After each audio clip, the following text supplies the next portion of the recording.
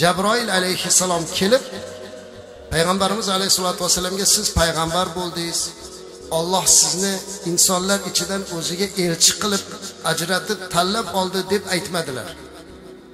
To'g'ri kelib birinchi buyurgan buyruqlari iqro dedilar. O'qing dedilar. Qarang. Iqro mana qur'oni karimdagi. Iqro. Ollohni kalomini olib kelyapti jabroil alayhissalom. Iqro o'qing deyapti. Payg'ambarimiz alayhissalotu vassalam analastu qori dedilar. Man o'qiy olmayman dedilar. Nimani o'qiyman ilmim yo'q dedilar. Jabroil alayhissalom yana aytdi iqro dedi. Ikkinchi marta yana o'qing dedi. Rasulimiz alayhissalom bu ovozni eshityaptilar o'zini ko'rmayapti. Yana aytdilar analastu qori men qori emasman qanday o'qiyman dedi. Uchinchi marta yana aytdi va qur'ondagi oyati karimani nozil qildi. Iqro bismi robbikallazi xalaq.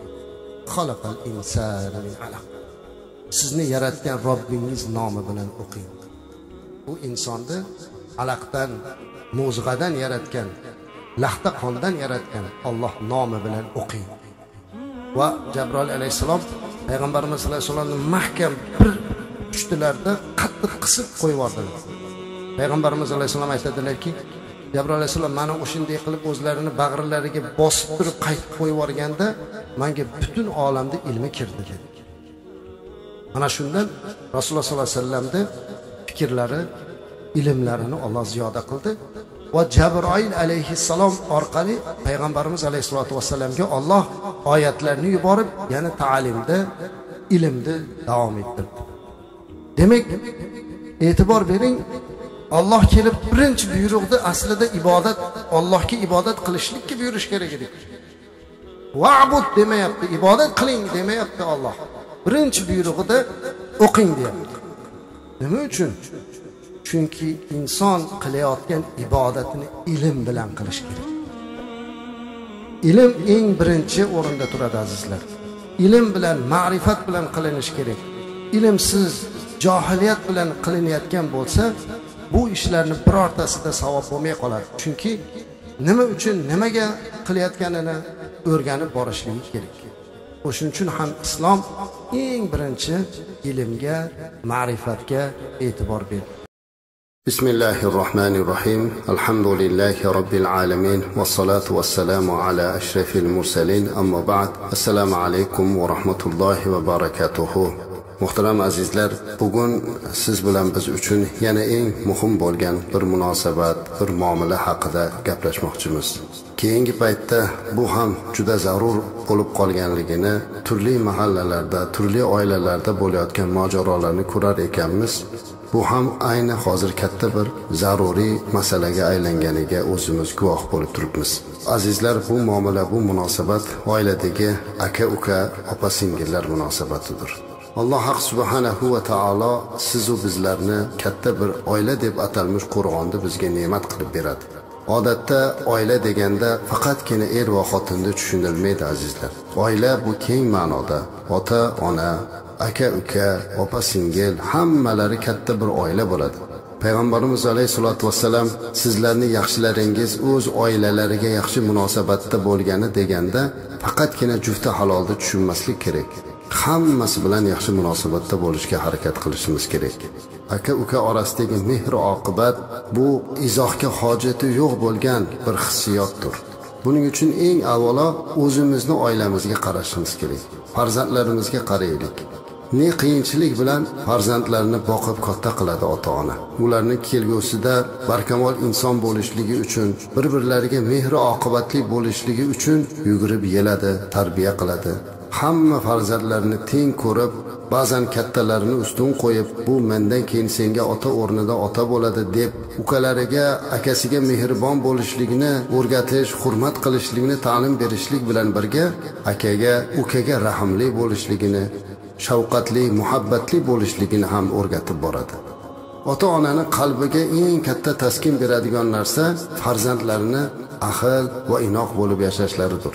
Agar e'tibor bergan bo'lsangiz ota ona dunyodan o'tayotganda odatda sog'lom bo'lib turganda farzandlari uchun turli turli narsalarni bir birlariga meros qilib berishi mumkin har xil vasiyatlarni nasihatlarni qilishi mumkin.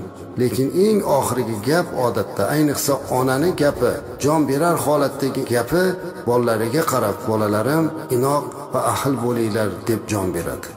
Farzandlarini o'zidan keyin ahil va inoq bo'lib yashashini ota ona orzu qiladi va duo qiladi. Hammamiz ham buni orzu qilamiz.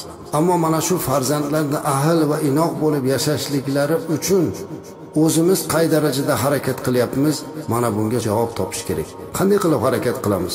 O'zimiz aka ukalarimiz bilan qanday munosabatdamiz? Bir dasturxon atrofida bemalol akani yoki ukani o'zingizni tug'ishgan qardoshingizni farzandlari bilan birga o'tirib ayolingiz bilan birga o'tirib ularni salbiy tomonlarini gapirib yomonlab ularni kamchiliklarini topib o'tiribsizu qanday qilib ertaga sizni farzandingiz bir biri bilan ahil inoq bo'lishi mumkin? O'zini akasi yoki ukasini iqtisodiy tomondan qiynalayotganini ko'rib o'zida mana shunga imkoniyati bo'la turib e bunga bermayman unga bergandan ko'ra ko'chaga olib chiqib tashlab yuborganim yaxshi degan va hokazo gaplarni gapirayotganda eshitib turgan farzand aka uka qanday qilib keyin bir birlariga yordam bera olsin. Ana shuning uchun ham azizlar biz bugun farzandlarimizni bizdan keyin bir birlari bilan ahil inoq ittifoq bo'lib yashashini orzu qilar ekanmiz. O'zimiz mana shuni ko'rsatib berishimiz kerak. Axir bejizga xalqimiz qush inida ko'rganini qiladi deb aytmaganda.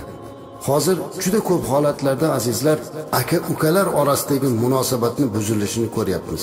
Bir paytlar ota onasi borligida ahil inoq yashagan aka ukalar bir birlari uchun jonim fido deb turganlar ota ona olamdan o'tgandan keyin arzimas dunyo talashib uy talashib yer talashib bir birini qoziga hatto sudga olib borib bir biri bilan pichoqbozlikkacha borayotganini yuz ko'rmas darajada urushib janjallashib ketayotganini ko'ryapmiz. Mana bu hech qaysi qoidaga islom madaniyatiga to'g'ri kelmaydigan ishdir azizlar. Payg'ambarimiz alayhissalotu vassalamni o'zlaridan o'rnak olaylik.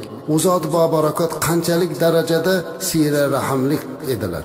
Aka uka qavmi qarindoshni holidan xabar olish bir biriga yaxshilik qilishlikni odatda silay rahm deb atalinadi. Qarindosh urug'dan yuz o'giruvchilarni esa qotiur rahm deb atalinadi. Qotiur rahmlarni oqibati yomon bo'ladi. Ammo payg'ambarimiz alayhissalotu vassalam hamma qarindoshlari bilan mana shunday ajoyib bir munosabatda bo'lishlikka intilganlar. Hattoki bir kuni u o'zlarini bir tug'ishgan opasi emas balki emikdosh opalari halima sadiya onamizni qizlari asir bo'lib tushib qolganda urush bo'lgan urushda endi har xil asrlar keladi boshqa bo'ladi. O'sha yerda turib bir qiz ularga aytyaptiki man muhammad sollallohu alayhi vasallamni opasiman deyapti. Bu gapni eshitgan hammasi hayron bo'lib qanday opasi? Axir rasululloh sollallohu alayhi vasallam yolg'iz o'g'ilku bu nima degan gap? dedilar. Bu xabar payg'ambarimiz alayhissalomga kelganda kim ekan u? deyavdilar halima degan ayolni qizi ekan deyavdilar u mani emikdosh opam tezda olib kelinglar dedi. Va opalariga mehr ko'rsatib uzr so'rab unga hurmat ko'rsatib uni ozod qilib qaytarib yubordilar. Sut opalari emikdosh opalari lekin afsuski hozir bir ota onani farzandi bo'lgan qorindosh bo'lgan qondosh bo'lgan aka ukalar bunchalik bir birlariga mehri oqibatlik bo'lmay qoldi. Hammamiz keyingi paytda ishimizni yurishmayotganligidan ba'zan kambag'al bo'lib ketayotganligimizdan shikoyat qilamiz. Lekin aslida mana shu rizqimizni keng bo'lishligi bizni qarindosh urug' bilan aka ukalar bilan bo'layotgan muomalamizga munosabatimizga bog'liq ekanligini unutib qo'yamiz. Abu hurayra roziyallohu anhu rivoyat qilib rasulimiz alayhissalotu vassalamdan quyidagi hadisni keltiradilar. Payg'ambarimiz alayhissalotu vassalam aytadilarki man sarrahu أن يبسط له fi rizqihi وأن ينسأ له في fi atharihi falyasil rahimahu ravohu thalatha ya'ni payg'ambarimiz alayhissalom shunday deyaptilar kimni rizqi kengaytirilishi va uning ajalini ortga surilishi unga xursandchilik olib kelsa unda qarindoshlariga siylay rahm qilsin dedilar. mana bu joyda siylay rahmni muhim bir ahamiyatini aytyapti azizlar qarang imkoniyatni qarang azizlar. Agar boy badavlat bo'lishni xohlasangiz ham o'limimiz orqaga surilishni xohlasangiz ham aka ukalar bilan qarindosh urug'lar bilan munosabatimizni yaxshi qilishimiz kerak ekan. Payg'ambarimiz alayhissalotu vassalam mana shuni o'rgatdilar. Ba'zan insongarchilik ekan azizlar. Shunaqa holatlar bo'lib qoladiki odamlarga biz aka uka munosabatlarini gapirib nahotki onaning tor qorniga siqqan aka ukalar bir uyga sig'maysizlar ba'zan bir yurtga sig'maysizlar. Qani endi oqibat? Axir yoshliklaringizni eslang aka uka bir joyda yotib katta bo'lgan kezlaringizni so'rida yotib osmonda yulduzlarni sanagan kunlaringizni eslang. Ukangiz ko'chadan yig'lab kirganda kim xafa qildi deb yugurgilab chiqib uni tarafini olib hamma bilan urush janjal qilganlaringizni eslang. Soyda cho'milayotganda ukam ish qilib cho'kib ketmasinda deb uni opichlab soylarda cho'miltirib yurgan holatlaringizni eslang. Aka uka munosabati buzilganda mana shu yoshlikdagi eng unutilmas damlarini ko'z oldiga keltirish kerak. Mushtipar onamiz biz uchun barcha aka ukalar uchun tandirda issiq nonlarni yopib bolalarim yesin deb oldiga qo'yilganda aka ukalar talashib tortishib issiq nonlarni yegan va eng baxtli damlarni eslash kerak. Aka ukalarni mana shunday yashayotganini ko'rgan ota ona qanchalik quvonganini bir tasavvur qilingda. Endi rasulimiz alayhissalotu vassalamning bir hadislarini o'ylab bugungi holatingizdan uyaling. Rasulimiz alayhissalotu vassalam o'tib ketgan ota onaga bu dunyoda qolgan bolalarni hamma amallari ko'rsatib turiladi deganlar. Qarang amallarimiz ota onaga ko'rsatilib turilar ekan agar bular to'g'ri yo'lda yaxshi yo'lda bo'lsa xursand bo'lar ekan yomon yo'lda gunoh yo'lda ma'siyat yo'lda bo'lsa ota onani ruhi allohga nola qilib robbim bularni hidoyatga solmaguningcha to'g'ri yo'lga solmaguningcha ularni jonini olmagin deb yig'lab duo qilib turar ekan shuning uchun ham qadimda aka ukalar bir birlari bilan janjallashib qolsa kattalar ularni murosa qilganda ota onangni ruhini chirillatmagin deb bejizga aytmas ekanlar. Agar aka uka opa singil bir biri bilan munosabati buzilgan bo'lsa darhol o'tib ketgan marhuma onasini marhum qiblagohi otasini ko'z oldiga keltirsin. Ajab emaski mana shu bilan bir birlariga muhabbatlari oshsa bismillahi rohmanir rohim muhtaram azizlar aka ukasini kechira bilishligi kerak. Axir bu mening ukam otamdan qolgan merosim onamdan qolgan yodikorim bunga man mehrimni bermasam ota onamni xotirasi oldida qanday aka bo'ldim? Axir ukamni yoshligida ham ba'zi injiqliklarini sho'xliklarni kechirganmanu nega endi kechirmasligim kerak degan holatda kechira bilish kerak. Uka ham shu o'rinda akam manga ota o'rnidaku manga gapirgan bo'lsa nasihat nuqtai nazaridan gapirdi. Nega endi man arazlashim kerak deyishni o'rganmoqlik kerak ekan azizlar. Ana shunda aka uka munosabatlari yana ham tiklanadi. Qadimda bir podshoh bitta oilada uch kishini olib kelib dorga osadigan bo'libdi ota bor ekan uni ichida uni o'g'li bor ekan hamda o'sha bolani tog'asi ya'ni haligi otani qayin inisi bor ekan. Birdan bir ayol dod deb yig'lab keldi podshohga yo shohim rahm qiling. Axir bitta bitta o'g'limni osyapsiz. Mani umr yo'ldoshimni osyapsiz. Unga qo'shib mani ukamni ham osyapsiz. Axir man nima qilaman endi? Uch o'g'londan ayrilyapman turmush o'rtog'imdan ham jigarimdan ham o'g'limdan ham dedi. Podshoh quvlik qildi. Bu ayolga qarab yaxshi senga rahm qilaman. Uchalasidan bittasini tanlagin qaysi birini xohlasang shuni hayotini saqlab senga beray dedi. Qarang a qandayyam qiyin ahvolda qoldi ayol. Bu yoqda turmush o'rtog'i ahd paymon qilgan umr yo'ldoshi bu yoqda ko'zini qorasi farzandi bu yoqda ukasi turibdi. Olloh bunaqa imtihonni hech kimni boshiga solmasin. U ayol podshohga qarab yig'lab turib aytdiki mayli dedi. Ukamni bering. Podshoh hayratlanib ketdi. Iye nega o'g'lingni emas nega eringni emas nega ukangni tanlading deganda ayol podshohga qarab shunday degan ekan. Erim bilan munosabatimiz yaxshi yaxshi inson edi. Lekin bu kishi olamdan o'tsa hali yoshman olloh nasib qilsa boshqa bir turmush o'rtog'ini olloh menga berar. Farzandim ham jigar go'sham ko'zimni qorasi buni olib qo'ysa olloh man yoshman turmushga chiqsam bir farzand berar. Ammo meni ota onam olamdan o'tib ketgan. Menga boshqa uka tug'ib beradigan onam va menga ukaga sababchi bo'ladigan otam yo'q. Shuning uchun man ukamni tanladim deb yig'laganlarida podshohni ko'ziga yosh kelib bunday fazilatli bunday mehri oqibatli opaning hurmatidan uchala jazolanayotganlarga ham ozodlik bergan ekan. Haqiqatda ham azizlar mana bunday holatlar hozir ham davom etadi. Bir kuni bir ayol diniy idoramizga yig'lab keldi. Nega yig'layapsiz opajon desam ukamni buyragi kasal bo'lib qoldi. Unga buyrak ko'chirib o'tkazmasa ukam nobud bo'ladi. Lekin boshqalardan olgani pulimiz yo'q. Ammo manda bor. Bitta buyragimni beraman desam erim unamayapti. Erimdan so'ramasdan mana shuni berishlikka haqqim bormi? Agar buni qilmasam ukam olamdan o'tib qolsa menga bu buyrakni nima keragi bor? Axir men jigarimdan ayrilyapman deb yig'laganini ko'rib bu opani haqqiga duo qildim. Ba'zan shunday opalar bo'ladiki ukalarini bu dunyoda nima bilan shug'ullanayotgani qanday mushkulu mashaqqatlarni ko'rayotganini ham bilmaydigan darajada yashab hatto o'sha ukasini ayoliga zulm qilib ularni orasini buzuvchi ammalar yo'q deysizmi? Insof bilan qaraydigan bo'lsa buni hammasini oqibatida o'ziga bir kuni bu dunyoda ham u dunyoda ham javob berishini o'ylasa bu ishlarni qilmagan bo'lardi. Yana doimo ishini yurishmaganligidan kambag'al bo'layotganidan shikoyat qilib qo'yadi. Albatta shunday bo'ladi. Rizqini keng bo'lishini xohlasa xotirjam bo'lishini xohlasa aka ukasiga siylay rahm qilmoq kerak. Shuning uchun ham payg'ambarimiz alayhissalotu vassalam mana shu hadisni aytdilar. Haqiqiy siyla rahm qiluvchi u senga qilganda javob qaytaruvchi emas balki u sendan yuz o'girganda sen unga yaxshilik qiluvchi bo'lsanggina sen haqiqiy siyla rahm qilgan bo'lasan dedi. Albatta azizlar ko'proq aka ukachilik oqibatini buzadigan bu ayol kishi bo'larkan. Oilaga bitta begona keldi kelin keldi. Ular birinchi navbatda aka ukani bir biri bilan ittifoq qilishni o'rniga. Aksar holatda aka ukani orasiga nizo soladi. Ukangiz bunday dedi akangiz bunday dedi degan gaplar bilan ularni orasini buzadi. Lekin aka ukani munosabatini buzishlik bu shaytonni ishi.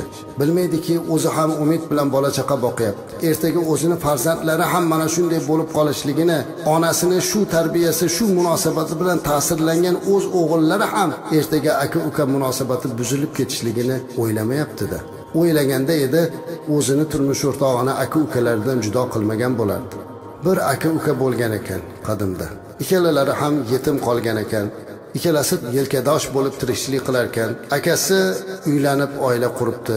Ukasi esa akam joylanib o'ziga kelib olsin deb uylanmabdilar. Ikkalalari sherik bo'lib dehqonchilik qilar ekan. Kechqurun hamma hosilni yig'ib ikkalasi teng bo'lishibdi. Unga mana shuncha qop bug'doy tegibdi ukaga ham akaga ham teng qo'yibdi. Chunki teng mehnat qilishar ekan kechqurun ukasi o'ylanib qolibdi ukam yolg'iz. Hali uylanish kerak oila qurish kerak. Tengma teng mehnat qilib men bilan yurib men bilan bir xil bug'doy oldi-ya ukam bechora o'ziga kerakli bo'lganini ham menga inom qilyapti. Man ukam bug'doyiga yana o'zimni bug'doyimdan qo'shib qo'yaman. Toki ukam yana ham o'ziga eplab oilali bo'lib olsin deb aka kechqurun chiqib bir nechta bug'doy qopini olib borib ukani omboriga qo'shib qo'yar ekan bu joyda yotib uka o'ylanar ekan akam bechorani qaranglar oilali bo'la turib kattaman demasdan tinma tin mehnat qiladiyu yana hosilda ten oladiya bu adolatsizlik. Men akamga o'zimni ulushimdan bildirmasdan qo'shib qo'yayki akam bola chaqasini eplab olsin. Ularni boqishga qiynalmasin deb uka haligi aka olib kelgan bug'doyni bildirmasdan olib chiqib qo'yarkan. Har kuni bir biriga shunday qilishaveribdi bilmagan holda. Oxiri bir kuni kechqurun ikkala aka uka yelkasiga bir qopdan bug'doyni ko'tarib kelayotganda ko'rib qolishibdi. Ularni bug'doyi necha yildan beri tugamaydi biriga biri qo'ygani uchun. Ikkalasi bu holatni ko'rib hayron bo'lib bo'lgan voqeadan keyin aka uka bir birini quchoqlab uzoq yig'labdilar. Bu ularni Alloh bergan mehri oqibatidan azizlar. Hozir esa ba'zan ukam nima yeyapti ekan deb o'ylanib ham qo'ymaydi. Akam sher bolaligida u nima qilyapti ekan deb uka o'ylanmaydi. Shunchalik ham bo'ldikmi azizlar? Axir bizni yurtimiz bizni vatan musulmonlar umuman mana shu nahr xalqi azizlar bunday bo'lmagan. Aka uka oqibati butun dunyoga namuna bo'ladigan bo'lgan. Lekin shu gaplarni gapirsak bir xilgilar aytadiki ey domla siz bilmaysiz har kim o'zidan o'tganini o'zi biladi. Man shuncha yaxshilik qilsam ham u menga qaytarmaydi u menga yaxshilik qilmaydi u bu yaxshilikni bilmaydi deb ukasini akasini oqibatini gapiradi.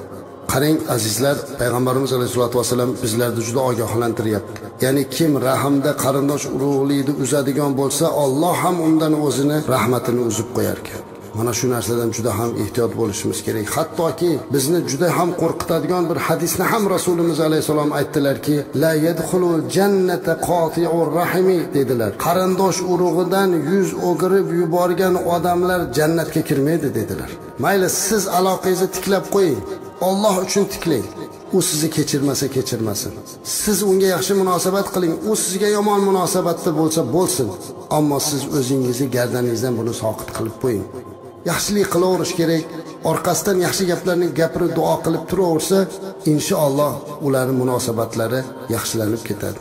Zero payg'ambarimiz alayhissalotu vassalamni sahobalari bir ota onadan tug'ilgan bo'lmasa-da eslasangiz makkadan madinaga kelganda makkaliklar bilan madinaliklarni aka uka tutuntirib qo'ygan payg'ambarimiz alayhissalom sizlar diyonatli aka uka bo'ldinglar bir diniy aka uka bo'ldinglar iymoniy aka uka bo'ldinglar deb ularni aka uka qilib qo'yganda hozirgina bir birini tanigan aka ukalar bir birlariga uylarini bog'larini in'om qilishlikni taklif qilganlar. Mani uyim senga bo'lsin ukajon. Mana bu bog'im senga bo'lsin sen menga aka bo'lding deganlar. Qaysi bir inson bu dunyoda yashar ekan? Umid bilan ota onamiz bizni dunyoga keltirgan ekan. Aka ukalar bir birlarini ayblarini qidirishni o'rniga bir birini haqida yaxshiliklarni gapirib duo qilib mehr oqibatli bo'lishlikka harakat qilmoq kerak. Hali aytib o'tganimdek azizlar munosabatlarni yaxshilashlik uchun allohga taqvo qilish kerak. Allohdan qo'rqish kerak jannatni umid qilish kerak va shuning bilan birga yoshlik chog'larini ko'p ko'p eslab turish kerak. Ukangizga qarang akangizga nazar soling. Ularda o'z ota onangizni suratini ko'rasiz. Opa singillaringizda otangizni onangizni suratini ko'rasiz. Mana shu hurmatidan ham bir birlarini hurmatini joyiga qo'yib arazlashishlikdan yiroqlashib yashamoqlik kerak. Shunday ekan azizlar bir birlarimizga mehr oqibatli bo'laylik. Aka uka opa singil qomi qarindosh siylay rahmda bardavom bo'lishligimizni alloh nasib qilsin.